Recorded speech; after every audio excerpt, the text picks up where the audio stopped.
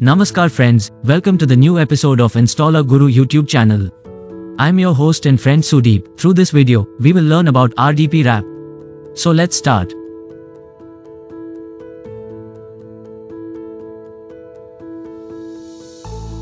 RDP wrap is an open source free to use tool through which you can share your computer resources with multiple users via RDP, via remote desktop system. So let's install it and check how it works. Normally, when you use remote desktop publish system or remote desktop service for Windows, then you can remotely control a single computer.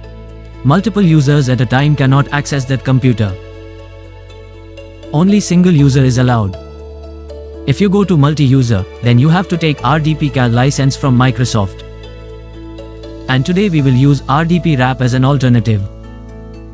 Through which we can do multiple remote desktop sessions in a single computer and share a single computer resource with multiple users. So for RDP wrap, you will come to GitHub. In GitHub, you will get a project called RDP wrap. The project file you have to download. I have successfully downloaded the project file. Now we will keep it in the desktop. And here we will extract it. After extracting, you can see that multiple files have come here. In this, you have to run the install.bat file. Run as administrator. So it will be installed automatically. After running it, you can see that all the services have been successfully installed. Here it is coming, press any key to continue. Here we will press any key. It has been successfully installed. Now to check the installation, here two options are coming, RDP check and RDP config. Two applications are coming. Here we will run RDP config. So here you can see that RDP wrapper status is installed. Service state is running. Listener state is running. And the port of RDP is coming. The default port is 3389, which I have already changed to 3333. Here you can enable the allow custom program. Single user per session will be enabled. Network level authentication and full user access permission will be enabled. But here you can see that it is not supported. Means this RDP wrapper has started, but it is not supported. So to support it, we have to do some steps. First of all, we will copy this file of RDP wrapper. And we will come to C drive of the computer. We will come to program files in C drive. In program files, you will see that there is already a folder called RDP wrapper, in which we will paste it.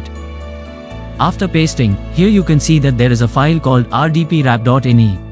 The file you have to replace here. For this, we will again come to GitHub. After coming to GitHub project, we will click here. Original RDP wrapper can be found. We will click here. We will open it in the next tab. After opening, we will come to the bottom. After coming to the bottom, you can see that the latest ini file is linked here. We will load the latest ini file here. And this is your latest ini file. We will copy it from here. After copying, we will come to the ini file again. We will edit it. And we will paste it and save it. After replacing. Now again we will open the RDP config check. Now we will check the RDP config. It is showing here that it is fully supported. Now we will create multiple users. And we will test multiple users. First of all, we will create a demo user here. Demo 1. We have created 3 users here. Demo 1, 2, 3. Now we will come to the advanced settings where we enable the remote desktop. We will come to the advanced settings, in which we will come to the remote session. We will come to the selected user which is already allowed by the remote desktop. By default, the administrator is already a member. I want to enable all my demo users here. I have enabled all my 3 demo users here for RDP. Now we will try to run multiple RDP sessions in this computer. So my 3 users are created here. Now I will check the RDP check once. In the RDP check, you can see that 3 users are visible here. I will try to log in once from the first user. Now I am already logged in from the admin user. And I will try to log in once from demo 1. Logged in successfully, so this multiple RDP session is working now. So now we will check once on the particular remote desktop. We will log in once on demo 1 on the remote desktop. Now you can see that this demo 1 is my user. This is my demo 2 user. And this is my demo 3 user. All three users are working on the same computer on the remote desktop at a time. So in this way, you can allow multiple remote desktop sessions through RDP wrapper.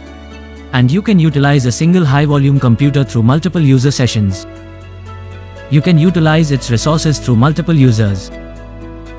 So that's all for this video for now. Thank you very much for watching.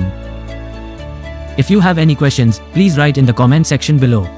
If you like the video, please subscribe and like it. Jai Hind, Vande Mataram. Thank you.